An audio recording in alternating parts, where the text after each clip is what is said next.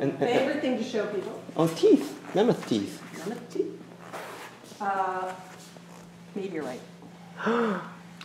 You probably want to set your camera down so you can pick it up, because this is a cool. um, This meteorite was found in Trenton, Wisconsin, uh, in 1858. It was identified as a meteorite by Increase Lapham, who is, or was, um, essentially the first scientist of Wisconsin. He's- How old is that meteorite?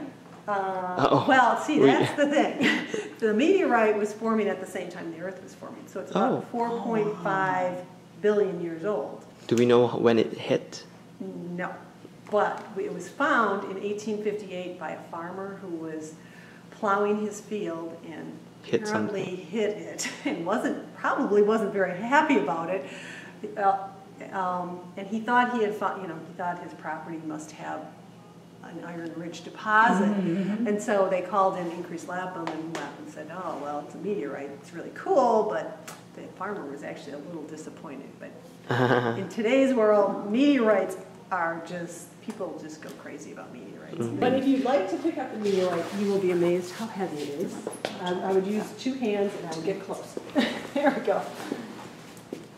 Oh, man, yeah, this, this thing is really, really heavy. How much does this weigh, Patty? About oh God. 28 pounds. 28 pounds? And It's only twenty-eight Yeah, pounds? I It seems so know, much it seems heavier. what, heavier, doesn't it? is it, it- It's made out of iron, solid iron? 98%, 98, 99% iron. Oh, Yeah, 99%. nickel. Nickel, yes, of course. They're called Widmanstätten marks. It's the, it's the way the crystal formed.